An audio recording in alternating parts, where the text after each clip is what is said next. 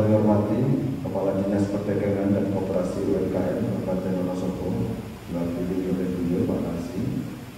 Kemudian yang kami hormati Bapak Pengawas SMK, Dinas Pendidikan Wilayah Kabupaten Dinas Pendidikan Wilayah Sembilan, beliau Bapak Tanasi Kuncoro, NPT. Eh, yang kami hormati kemitraan dari Diduga dunia industri, dunia usaha, dunia kerja yang Ibu Kepala Dinas Cabang salah satu Wonosobo. 9 Terima kasih kepadanya. Provinsi Jawa Tengah Selamat pagi. Selamat terima kasih atas Kepala UMKM Kabupaten Wonosobo Kepala SMK 1 dari Wonosobo. Dari BNT Matang Wonosobo dan PT Kombas Digital Internasional Banjarnegara dan juga saya ketemu dengan saya. Terima kasih Pak Yon atas kelaluannya yang kemitraan beliau ini sudah kita bagi-bagi perannya dan akan mengolah bagaimana anak-anak ini bisa mencapai kepada bisa Baik, pada sambutan kali ini izinkan saya untuk menyampaikan beberapa hal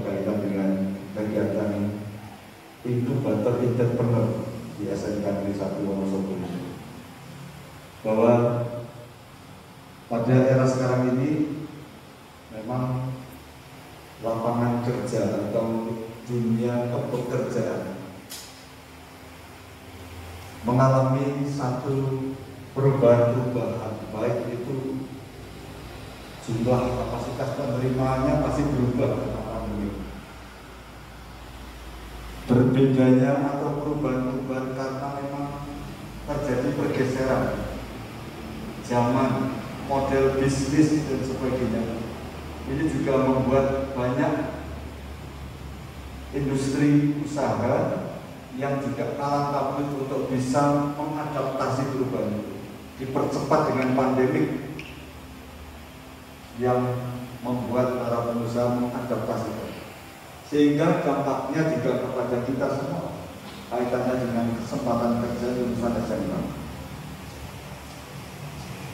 banyak informasi yang kita dapatkan bahwa sempitnya lapangan kerja membuat lulusan SMK juga banyak yang menganggur maka dari itu dunia yang masih luas tetapi membutuhkan sebuah adaptasi yang kuat jiwa yang kuat yaitu entrepreneurship atau juga wirausaha yang mampu bisa menembus adaptasi zaman perubahan zaman maka ini harus diberikan kepada para siswa yang siap masuk setelah lulus.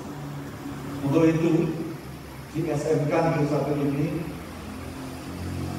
perlu diadakan penyiapan anak-anak untuk memiliki entrepreneurship atau jiwa wirausaha yang paling tidak nanti mampu untuk bisa masuk menembus atau adaptasi di zaman ini yang selalu berubah. Yang pengusaha raksasa berubah bisa menjadi kecil pengusaha yang tidak bermodal kemudian mampu mengkolaborasi mengorkestrakan semua potensi seperti Grab yang tanpa memiliki aset sepeda motor atau mobil tapi mampu membuat sebuah sistem transportasi raksasa di Indonesia ini ini berkat adalah jiwa wirausaha. Untuk itu pada kesempatan ini pada opening Entrepreneur Club SMK Negeri 1 Wonosobo yang temanya adalah mencetak wirausaha muda yang berbakat ini harapannya nanti setelah kalian bisa memiliki jiwa wirausaha itu mampu untuk bisa menjadi pengusaha muda yang tidak lekang terhadap perubahan-perubahan itu. Pada kesempatan ini, Nanti kalian pada saat kegiatan-kegiatan ini juga kalian akan dibimbing langsung oleh para ya, praktisi yang sudah memiliki pengalaman banyak mengecap asap dan garam. Termasuk manisnya kan, ya tidak asam garam itu dan tetapi manisnya juga. Yang nanti akan ditularkan dibimbingkan kepada kalian hingga harapan tadi disampaikan oleh ketua entrepreneur ini betul-betul walaupun di tengah pandemi entrepreneur club ya di Kesatuan Satu ini bisa menghadapi atau menjawab tantangan zaman yang ada. Untuk itu mohon bimbingan dari cabang dinas wilayah 9 dalam hal ini kepala cabang dinas untuk bisa memberikan satu ya dorongan termasuk bimbingan dan pembinaan pada SMK ini yang mencoba untuk bisa menyelesaikan anak-anak yang memiliki minat utama ini menjadi seorang penjelasan. Dalam hal ini juga kami mohon kepada Ibu Kepala Cabang Dinas sekaligus membuka, memberikan semangat dan motivasi di dalam kegiatan apa ini.